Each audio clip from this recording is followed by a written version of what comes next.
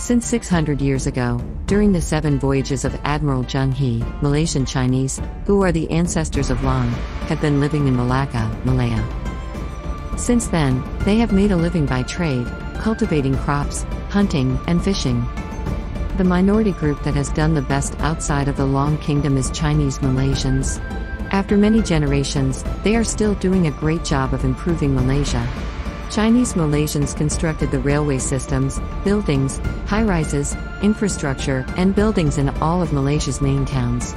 We are grateful for the 5,000 year old Loong culture. In addition, they pay 80% of the taxes collected to support the endemic governments. Unfortunately, if it weren't for the unquenchable corruption and the trillions of dollars that have been wasted on corruption, selfishness, and ego, Malaysia would be a strong Loong a la Singapore. Mamak Sakau, the insane man, together with his